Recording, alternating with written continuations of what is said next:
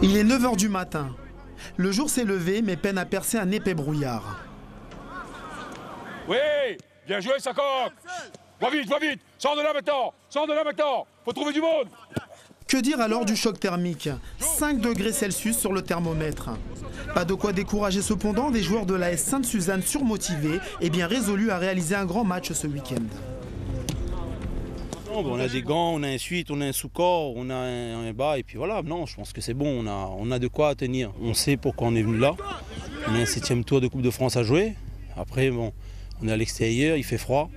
Mais bon, ça va pas nous retirer l'envie de jouer. Club familial de seulement 10 ans d'âge pour leur première Coupe de France, les Verts n'auront pas de temps d'apprentissage. Il leur faudra quoi qu'il arrive être prêts. Raison de plus pour le staff technique de mettre les joueurs dans les meilleures conditions possibles, quitte à user de recettes pays ancestrales. Des produits de la Réunion, c'est-à-dire des produits chauffants.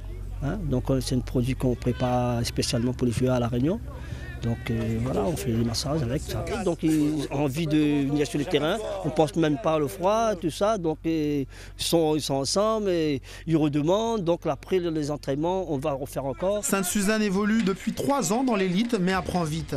La formation de l'Est, réputée pour sa défense et pour bien tenir le ballon, est un savant mélange de talent, de jeunesse et d'expérience. Elle s'attend à une rencontre relevée face à Sainte-Geneviève. On fait abstraction de, de tout ça, du contexte du froid, de l'équipe qui est hiérarchiquement plus fort que nous. Et voilà, il faut se donner à fond et penser éventuellement au, au bout, il y aura une qualification pour, euh, pour un, autre match de Coupe de France euh, chez nous à La Réunion.